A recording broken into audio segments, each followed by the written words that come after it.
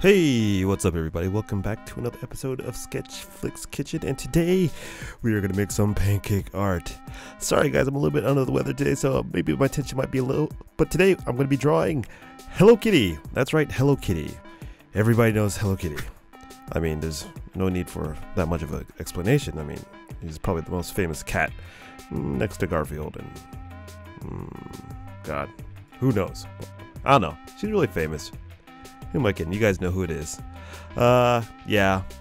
Sorry, guys. I'm feeling pretty sick today, but I made a promise to give you guys a video, so, so let's watch me make that pancake. Yeah. I noticed this time I did a one big, big, big error. I made the nose too big. So, actually, at first, I wasn't gonna release this um, episode because I didn't nail it the way I wanted to. But, you know, I, I, started thinking about it. It's like, I think it's okay to show your mistakes. You know, I am by no means the best artist out there in the world, and sometimes it's okay. So, anyway, I hope you guys enjoy it.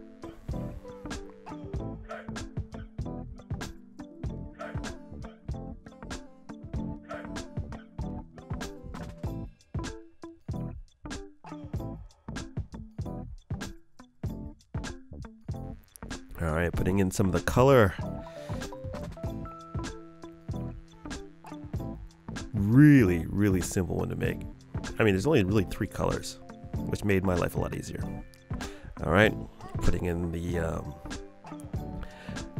the rest of the body.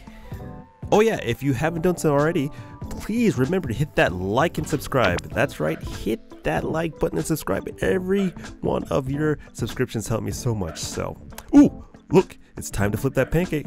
All right, here we go. Ah, all right, all right, there we go. That is Hello Kitty with a giant nose. yeah, I kind of messed up on this one, but it's okay. Anyway, thank you guys so much for, you know, following me and watching all these uh, ridiculous videos. Um, thank you so much. I really enjoyed making pancakes for you guys. I'll make more in the future. And um, yeah, if you haven't checked out already, check out the Doraemon one too. It's pretty fun. So, all right. Thanks for watching. Um, bye bye.